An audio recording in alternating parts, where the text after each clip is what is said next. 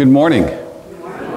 Welcome to Prosser United Methodist Church on this Easter Sunday morning. Happy Easter. Happy Easter. Our worship leader this morning is Elisa Riley, and she will be leading us through our call to worship, which is printed in your bulletin. Please stand for the call to worship.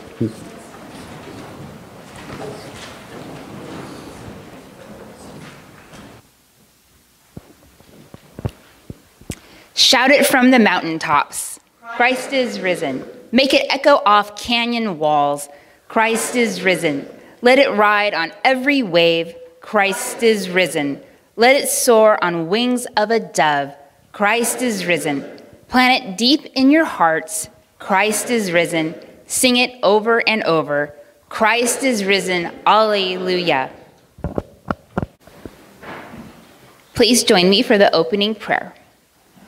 Almighty God, you give us the joy of celebrating our Lord's resurrection. Give us also the joys of life eternal through Jesus Christ our Lord. Amen. Our first reading this morning is from Colossians chapter 3, verses 1 through 4. So if you have been raised with Christ, seek the things that are above where Christ is seated at the right hand of God. Set your minds on the things that are above, not on the things that are on earth.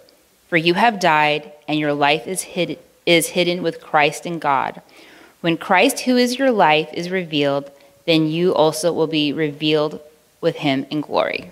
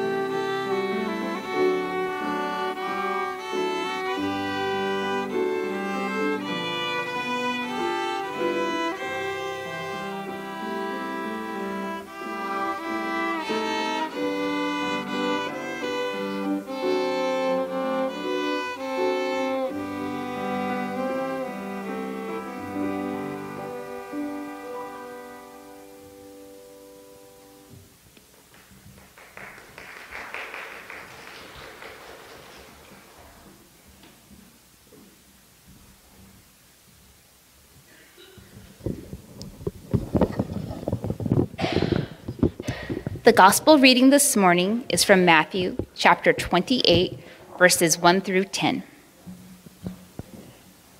After the Sabbath, as the first day of the week was dawning, Mary Magdalene and the other Mary went to see the tomb.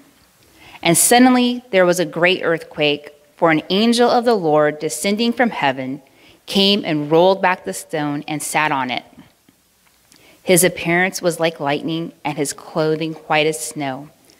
For fear of him, the guards shook and became like dead men.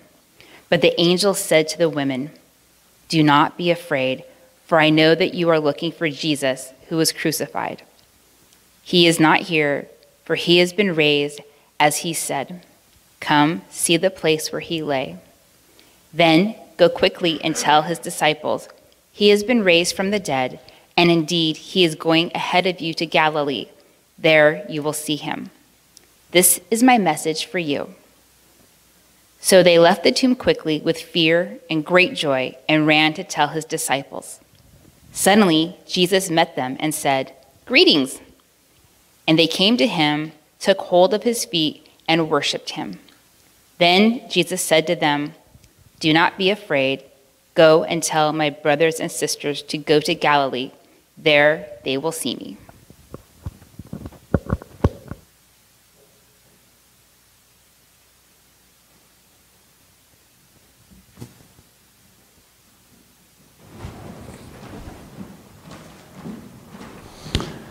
Will you join me in a moment of prayer? May the words of my mouth and the meditations upon each of our hearts be acceptable in your sight, O Lord, our rock and our redeemer. Amen. Well, this morning uh, we had the Easter sunrise service indoors. I think it's the first time in my 15 years here that we've had to have it inside, but just because of the rain mist that was going on at the time. But as we know, we kind of just have to work with what we got, right? We just have to deal with the circumstances around us and, and work with what we've got. Work is, um, I think, an important word in America. Um, and we have even a, a thing called the Protestant work ethic that is part of our history, part of our culture part of who uh, we are as Americans. It was the Protestant work ethic that helped the early settlers to survive. I mean, it was that, that's what they had to do. They had to work hard just to survive. And then once we got past the survival state uh, or, or stage as a country, we still worked hard to become a good country. And we have uh, reaped a lot of benefits from that, all that work that, that has happened in our country.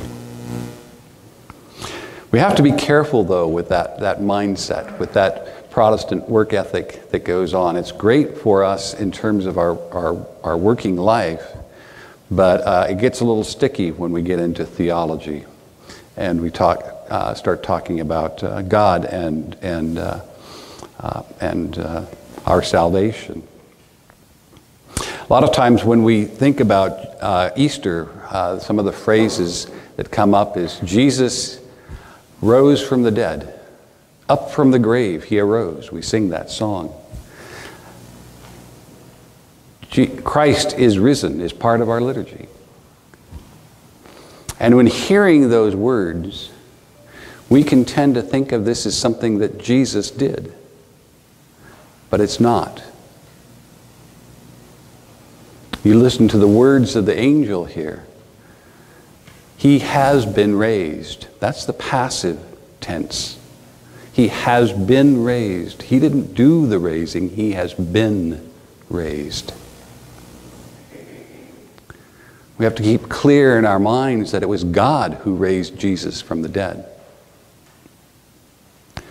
Jesus did not do that. Jesus, in fact, had to trust and have faith that when he died, God was still going to do something with that. And he did. He had that faith, he had that trust. And God did do something with that. He has been raised. but not my, oh, there we go. I lost my microphone there for a while. Uh, he has been raised.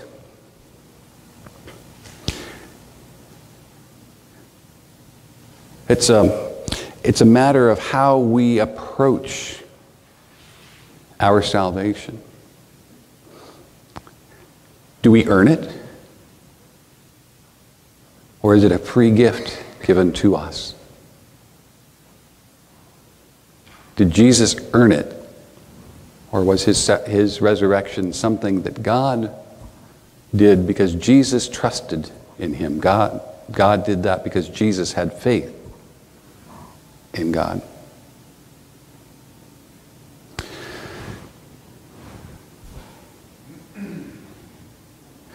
It's easy for us to get into thinking that our lives we have to do something in order to earn our way to heaven.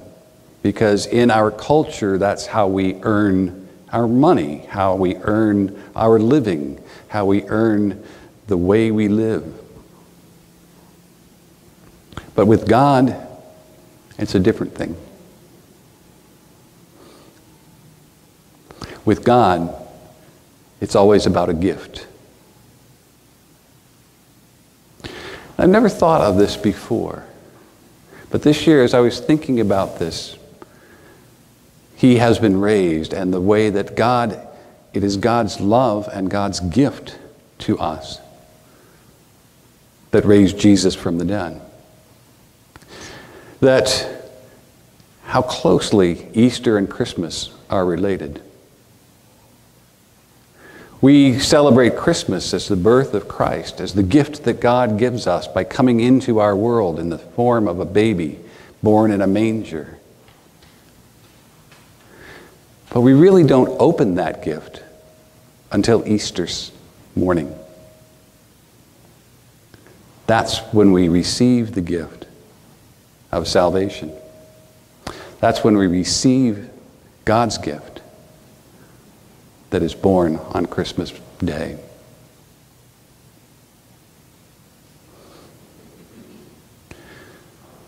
There's a story that uh, was written by O. Henry, and you've heard, probably heard it before the story of the gift of the Magi. And it's about a couple in New York, and right around 1900. And they're poor. They've, they've just starting in life. They're newly married and uh, it's Christmas time, and they want to get gifts for each other, and they really want to get special gifts for the person they love so much. She's well known for her hair. Uh, it's beautiful hair. And so, what she's always wanted are some beautiful combs to go in her hair. He's got this family watch that's been passed down from generation to generation, a gold watch. But what he really wants is a chain that would match and be a special chain that would go well with that special watch. If you heard the story, you know what they do. She goes and she cuts her hair off to raise money to buy the chain for his watch. He goes and he sells the watch to get money for her combs. They give each other their presents. They open them up and they laugh. What they gave each other really was the gift of love that Christmas. The gift of love that God gives to us through Christ. And so, as today we recognize and open this gift that God has given us, this gift of salvation, we also recognized it was not given to us because we earned it. It was not given to us because we worked hard for it. Yes, our life in God is important. And the way we live our life is important. But by doing the things that we do as the children of God, we do not earn our way to heaven. It is already given to us. That's what we celebrate today. That gift of love that God gave to us. That gift of life that God gives to us. Because God worked with what He had people. People who can remain faithful through thick and through thin in remembering that gift of love.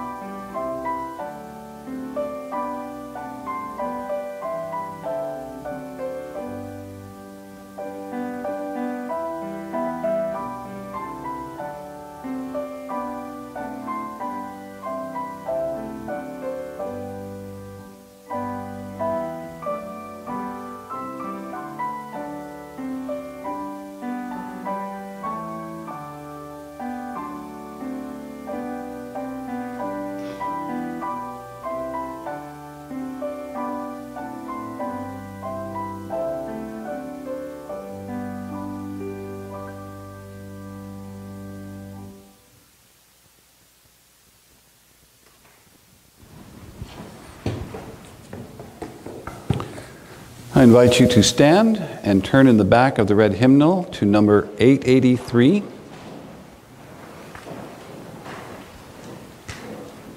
For our statement of faith for today. It's entitled A Statement of Faith of the United Church of Canada. Will you join with me? We are not alone. We live in God's world. We believe in God who has created and is creating, who has come in Jesus, the Word made flesh, to reconcile and make new, who works in us and others by the Spirit. We trust in God. We are called to be the church, to celebrate God's presence, to love and serve others, to seek justice and resist evil, to proclaim Jesus crucified and risen our judge and our hope. In life, in death, in life beyond death, God is with us. We are not alone. Thanks be to God. Amen.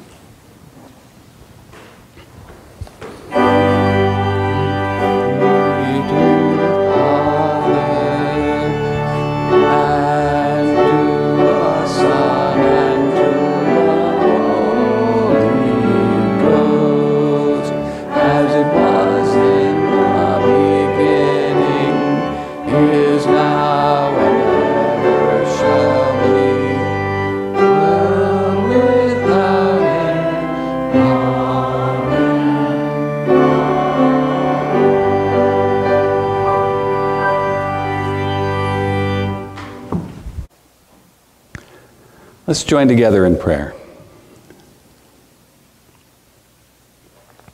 Eternal God, we come before you as your people in prayer, and we share with you the joys and the concerns that are upon our hearts in this moment of silence.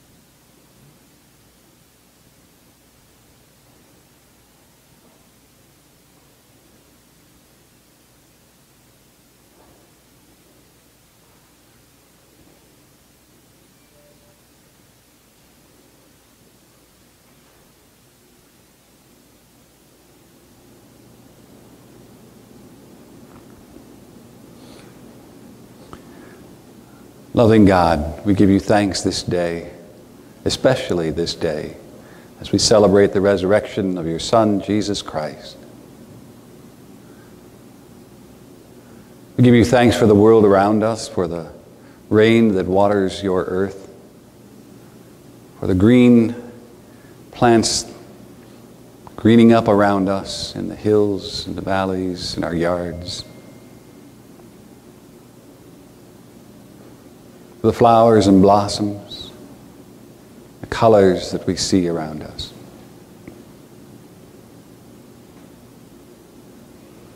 We give you thanks for seasons of growth, for seasons of harvest, for seasons of work, and seasons of rest.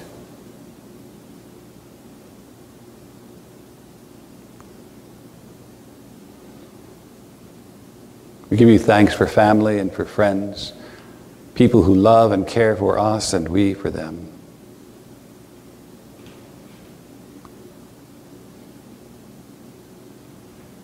We give you thanks for neighbors, co-workers, people in our communities whose lives makes our work and our lives better.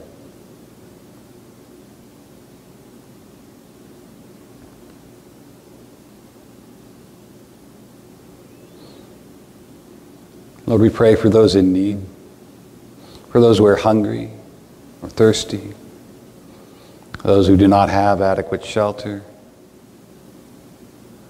We pray for those who live in zones of war, for those who've lost their entire towns because of war.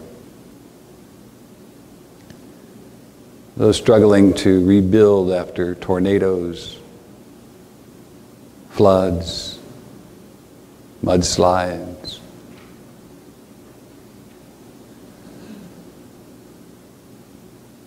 Lord, help us to reach out to those in need in the ways that we can.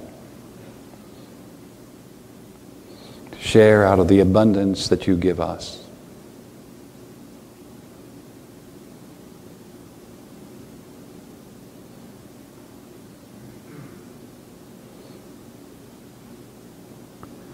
Lord, we pray for our cities, our states, our countries. Guide our leaders, help them to make wise decisions for the people they serve. Help us all to recognize we are your family, your children, each and every one of us.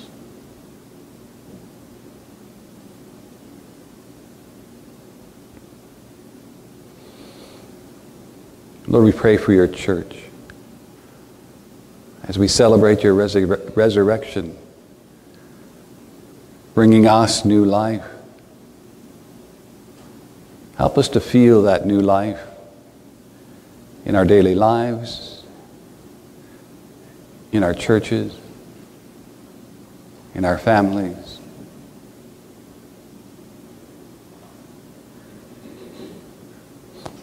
We ask this in the name of the risen Christ, who taught us to pray. Our Father, who art in heaven, hallowed be thy name. Thy kingdom come, thy will be done, on earth as it is in heaven. Give us this day our daily bread, and forgive us our trespasses, as we forgive those who trespass against us. And lead us not into temptation, but deliver us from evil. For thine is the kingdom and the power and the glory forever. Amen.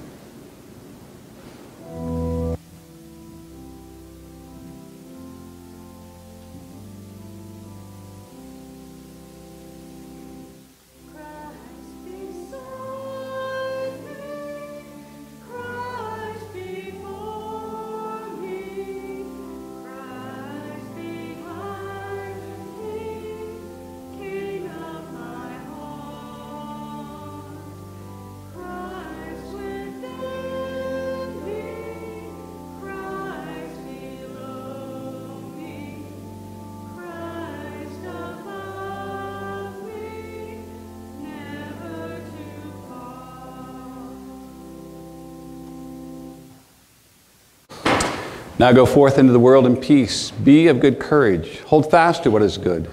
Repay no one evil for evil. Strengthen the faint hearted. Support the weak. Help the afflicted. Honor all people. Love and serve our God in all that you do. In Jesus' name, amen.